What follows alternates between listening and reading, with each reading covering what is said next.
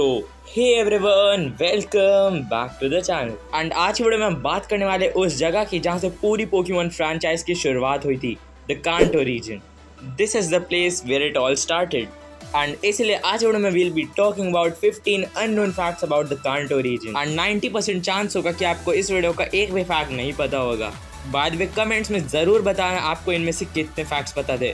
So without any time let's begin fact number fifteen क्या आप जानते हो पोकेमोन रेड एंड ब्लू जो पोकेमोन के सबसे पहले गेम थे, वो जब रिलीज़ हुए थे, उसके थोड़े टाइम बाद एक र्यूमर फैल गया था। According to which Vermilion city में एक ट्रक है, और अगर उस ट्रक को किसी तरह कोई हटा दे तो उस ट्रक के नीचे एक म्यू रहता है। एंड आप मानोगे नहीं, उस टाइम का ये सबसे ज़्यादा बड़ा रूमर था, जो सब जगह फैला हुआ था, कि उस ट्रक के नीचे एक म्यू है। बट बता दो, ये पूरी तरह से एक अफवाह थी और ऐसा कुछ नहीं था, उस ट्रक के नीचे कोई म्यू नहीं था। एंड लिटरली ये कितनी बड़ी अफवाह थी कि पोकेमोन कंपनी तक ये चीज़ पहुँच गई थी एंड उन लोग को भी काफ़ी हँसी आई थी। इसलिए जब रेड एंड ब्लू के रीमेक्स बने फायर एंड लीव ग्रीन उसमें उस ट्रक के नीचे ऑफकोर्स कुछ नहीं था। बट पोकेमोन फैंस को एक छोटा सा ईस्टर एग देने के लिए उनने वहाँ पे एक लावा कुकी छोड़ दिया था। जस्ट टू टेल देम कि ऐसी अफवाह भी मत फैलाओ, ये लोग कुकी खाओ।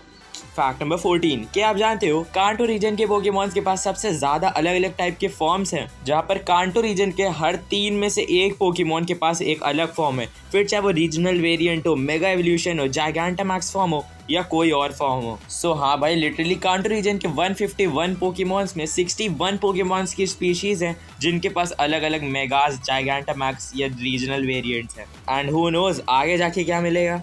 फैक्ट नंबर थर्टीन आपको भी पता होगा पोकेमोन लेट्स गो पीकाचू में फॉलोइंग पोकेमोन का सिस्टम इंट्रोड्यूस हुआ था। सो क्या आप जानते हो, अगर आप एक कबू टॉप्स को फॉलो करते हुए प्यूटर सिटी के म्यूज़ियम में जाओगे और कबू टॉप्स फॉसिल के पास जाओगे तो आप वहाँ से भले ही चले भी जाओ बट वो कबू टॉप्स वहाँ खड़े होकर वो फॉसिल ताकता रहेगा। जैसे राइट ना अगर इस बेल स्प्राउट की जगह कबू टॉप्स होता है इस कैरेक्टर के पास और आप यहाँ से चले भी जाते तो वो कबू टॉप्स यहीं खड़े रह के अपनी फॉसिल देखता रहता। Pretty funny right fact number twelve is about red and blue from the Kanto region अब आप सभी को पता होगा कि रेड का आइकॉनिक मेगा चार्जार्ड एक्स और ब्लू का आइकॉनिक ब्लास्टॉइस काफ़ी कूल पोकेमोन से। बट क्या अगर मैं कहूँ, ना रेड का स्टार्टर पोकेमोन चार मैंडर था, ना ब्लू का स्टार्टर पोकेमोन स्वॉटल था। ऐसा सिर्फ़ और सिर्फ़ एनमे में दिखाया गया है कि रेड के पास चार रेड है। क्योंकि अगर आप Pokemon Fire Red and Leaf Green की कोडिंग में जाके चेक करोगे तो रेड का स्टार्टर पोकेमोन बाय डिफ़ॉल्ट है बल्बस और ब्लू का है चार मैंडर अब आप कहोगे अरे गेम की कोडिंग से क्या होता है? तो बता दू रेड एक मांगा कैरेक्टर है और मांगा में भी रेड के पास वीनस और ब्लू के पास चार्जार्ड और लीफ के पास ब्लास्ट है। सो so, हाँ रेड का असली स्टार्टर कभी चार्जार्ड ना तो था और ना कभी रहेगा क्योंकि इट्स बल्बस और फैक्ट नंबर इलेवन आप में से काफ़ी सारे लोगों की चीज़ पता होगी कि पोकेमोन रेड एंड ब्लू में आप स्टैचू के अंदर फिशिंग कर सकते हो और उसमें पोकेमोन पकड़ सकते हो। क्या आप जानते हो ऐसी और भी जगह है जहाँ फिशिंग कर सकते हो और वहाँ रिवर नहीं है? जैसे की लॉरल है, जो एक एलिट फोर है, उसके जिम में भी आप जाके वहाँ के पानी में फिशिंग कर सकते हो। और मिस्टी के जिम के पानी में भी आप फिशिंग कर सकते हो। क्योंकि जब गेम की कोडिंग हो रही थी तो उनने ये सेट कर दिया था कि जहाँ भी पानी है, वहाँ फिशिंग पॉसिबल है। पर उनने ये नहीं सोचा कि पानी जिम्स में भी होता है कभी कभी fact number ten do you know कि पोकेमॉन रेड एंड ब्लू में जो मिस्टी का जिम है, यानी कि सरियोलियन जिम वहाँ पर एक बंदा मेंशन करता है कि वाटर टाइप पोकेमोन वीक होते हैं प्लांट टाइप पोकेमोन से। इसी तरह वर्मिलियन सिटी का जिम जो सर्ज का जिम है, वहाँ पे वही आदमी बोलता है कि bird type Pokemon electric type से वीक होते हैं। अन्य चीज़ों से हमें पता चलता है कि पहले फ्लाइंग टाइप का नाम बर्ड टाइप और ग्रास टाइप का नाम प्लांट टाइप होने वाला था बट फिर वो चेंज कर दिया गया। Pretty crazy right fact number nine क्या आप जानते हो जो सबरीना का जिम है, यानी सैफरॉन जिम वो गेम्स में तो सिक्स जिम है, यानी वो सिक्स जिम है जहाँ आप बैटल करोगे। बट एनमे में ऐश उससे फोर्थ जिम के तौर पर बैटल करता है। एंड लिटरली आज तक ये सिर्फ़ एक लौता केस है, जहाँ पर एनमे में जिम का नंबर अलग हो और गेम्स में जिम का नंबर अलग हो। क्योंकि सीक्वेंस हमेशा सेम ही रहता है। जो गेम्स में होता है, वही एनमे में होता है।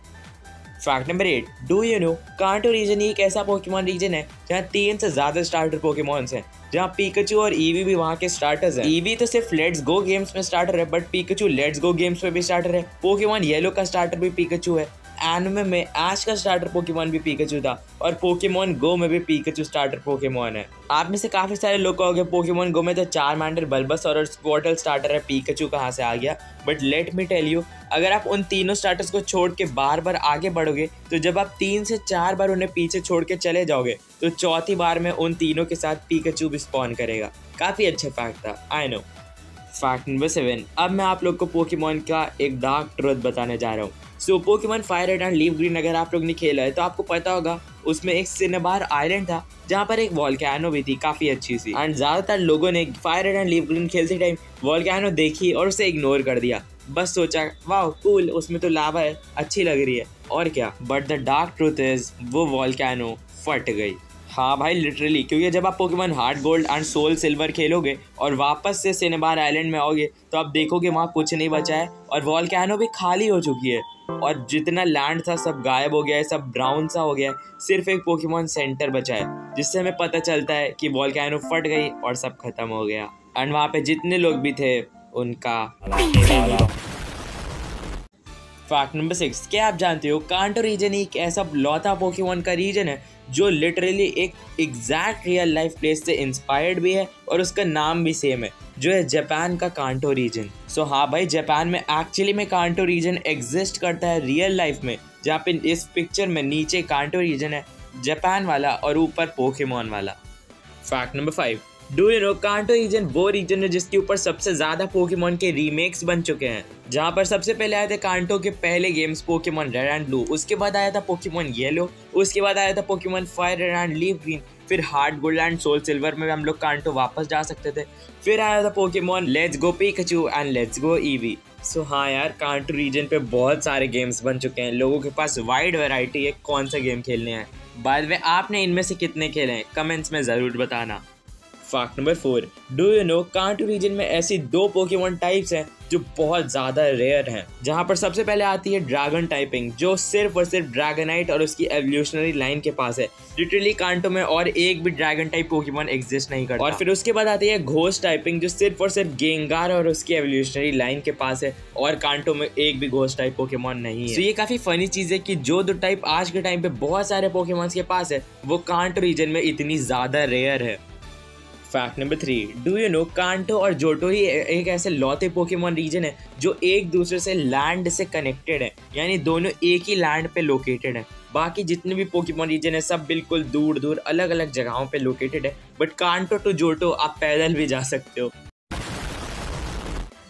फैक्ट नंबर टू अगर आप लोग ने पोकेमोन के गेम्स खेले हैं तो आपको पता होगा ऑलमोस्ट हर रीजन में हमें पेड़ पे अलग अलग बेरीज लगी हुई मिल जाती हैं। बट क्या आपने कभी सोचा है कि कांटो रीजन में कभी भी हमें कोई बेरी वाला पेड़ क्यों नहीं मिलता है?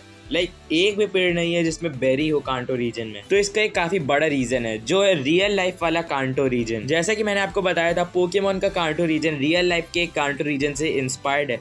एंड जो रियल लाइफ वाला कांटो रीजन है, उसका सॉइल काफ़ी इनफर्टाइल है एंड वहाँ पे रेयरली कोई अच्छे पेड़ उगते हैं जिसमें अच्छे फ्रूट्स निकलते हों।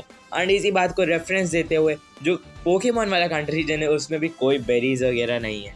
And finally fact number one आप लोगों ने काफ़ी सारे ऐसे पोकेमोन कैरेक्टर्स को देखा होगा रेड एंड ब्लू में, जिनके हाथ में हंटर होते हैं। हाँ भाई, वही मारने वाले हंटर्स जैसे कि Sabrina the gym leader for example red and blue में उसके हाथ में भी एक हंटर होता है। तो क्या आपने कभी सोचा इनके हाथ में हंटर क्यों होता है? हाँ इसकी भी काफ़ी डार्क रियलिटी है। तो पोकेमोन के क्रिएटर्स से एक बार इंटरव्यू में पूछा गया कि इन कैरेक्टर्स के पास हंटर क्यों होता है। तो उनने बताया कि ये वो कैरेक्टर्स है जिनको उनका स्टार्टर पोकेमोन नहीं मिल पाया। और उनका पहला पोकेमोन कैच करने के लिए उनके पास कुछ था ही नहीं। तो ये हंटर से पोकेमोन को पीटते थे और फिर उस पर पोके बॉल डाल के उसे कैच करते थे। एंड लिटरली ये इंटरव्यू में कहा गया है। बट आगे जाके पोकेमोन ने रियलाइज़ किया ये कितनी बड़ों वाली चीज़ है। एंड इसीलिए आगे जाके जितने भी कैरेक्टर्स के पास हंटर था उनके हाथ रिप्लेस कर दिए गए अलग अलग चीज़ों से। जैसे यहाँ आप देख सकते हो सबरीना के हाथ से हंटर हटा के पोके बॉल रख दी गई है। सो so, अच्छा ही हुआ ये किया नहीं तो ये काफ़ी डार्क चीज़ थी। And I think it's time to end the video. So that is it for today guys अगर आप लोग चैनल पे नए हो तो चैनल को सब्सक्राइब कर देना और बाजू वाला घंटा भी दबा देना। अब मुझे फ़र्क नहीं पड़ता, आप सब्सक्राइब बटन पे थंडर करो या फ्लेम थ्रोवर बस तब जाना चाहिए। वीडियो को ज़रूर से लाइक कर देना, क्योंकि उससे मुझे इंस्पिरेशन मिलती है और ज़्यादा वीडियोस बनाने के लिए। चैनल से अपडेटेड रहने के लिए मेरे डिस्कॉर्ड और इंस्टाग्राम पर मुझे फॉलो कर लेना और गेमिंग पोकेमोन वीडियोस देखने के लिए मेरे ब्लेस प्लेस चैनल को भी सब्सक्राइब कर लेना। सबके link is in the description ये रहा आज का पोके क्विज सबसे पहले आंसर करने वाले को मैं पिन करूँगा। So I see you guys in the next video and till then bye bye